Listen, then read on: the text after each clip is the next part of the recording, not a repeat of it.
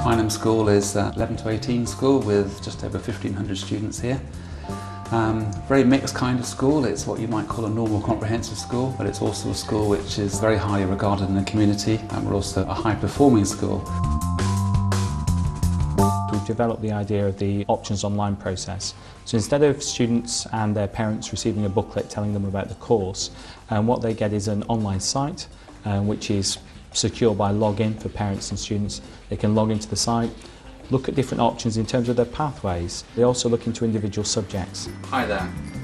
I'm here to introduce the options process now that you are halfway through your year 9 in school and it's now the time to think about what you might be doing in years 10 and 11. I think it was like a lot better because I've got an older brother that come, came to the school and he said choosing options were like so much more difficult because you're just told yeah it's good, yeah it's fun, no it's hard, whatever but with that online you get a lot more like feedback because if you recognise someone in the video you can go up to them and talk to them about it and my brother had none of that and he says you got it easy.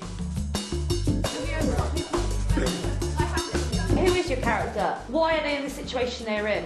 What is their background? What has their life been like? My mum like was looking at it and she was like yeah I think you are better off doing drama and that's kind of like what finalised my decision when my mum saw everything on the gateway.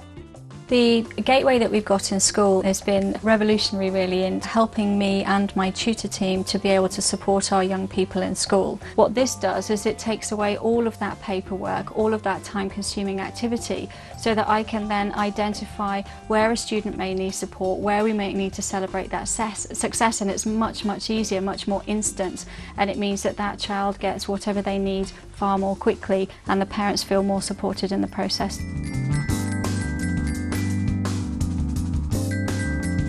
Well, with the new gateway, um, the parents are a lot more involved in your grades and looking back and forth over what you need to do. Instead of before you get one report or one parent's evening a year, now they can look at it whenever they want. If I'm doing well, I'll share it with them. If I'm not, I maybe make a joke about it. Science, I was above target last year. Yeah, and you've dropped back. Well, yeah, but I've gone up in other subjects. Sacrificed. Oh, okay. Like Tactical. As opposed to having to go to parents' evenings, you know, once a term, um, that Charlie can sit down and go through it with me um, and show me how he's getting on and where he's got to work, particularly at the moment coming up to A levels, you know, the topic subjects that he's got to focus on um, and just sort of talk through different ways that he can, you know, apply himself really. You know, we were out last night at a gig and he was showing me his grades on his iPhone.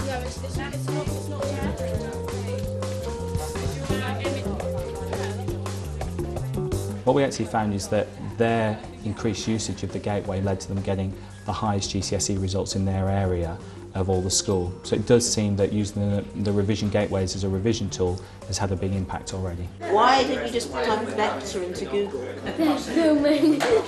Ollie, I always say, oh my god. When we started this off with our learning gateways and started putting resources on there, the incredibly high take-up rate from the students their feedback was tremendous in terms of they really enjoyed the resources being there and they could log on in school or at home and get exactly what they wanted when they wanted it.